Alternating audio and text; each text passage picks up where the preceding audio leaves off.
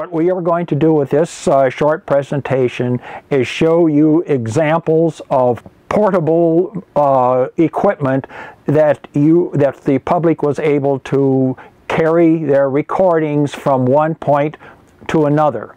Uh, another subject that we would probably be able to cover in the future would be how you would how the public would house their recordings, how they would keep their recordings in their own homes uh, in bookcases or under the record players or however they wanted to house them. What we want to do is show how these recordings were moved around from point to point.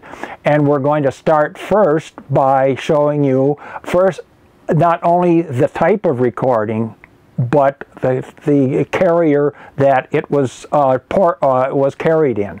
First we're going to show you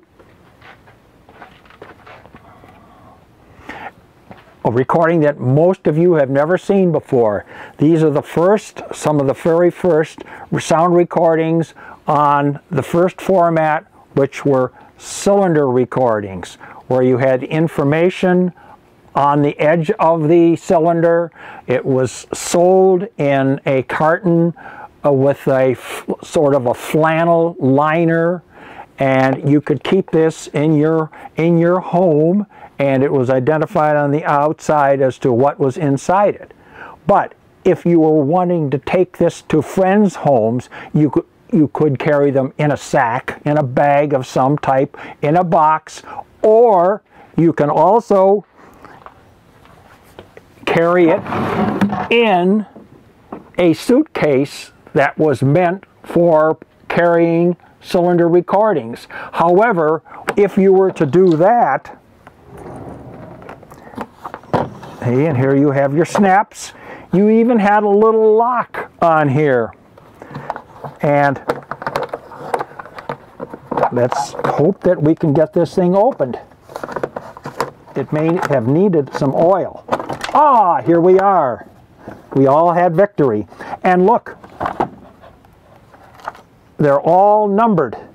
They're all numbered and then you could have a list which you would slip inside the box and then you would know what what cylinders you had in your your portable collection and then you would take the cylinder and slip it onto the post and then you would close the top and carry it to your your point of, of entertainment. And this is, we do have another one that is just of a different model and carries maybe a few more of the of these posts uh, of these uh, cylinders, but uh, this is a perfect example of one of the very early carrying devices for a sound recording.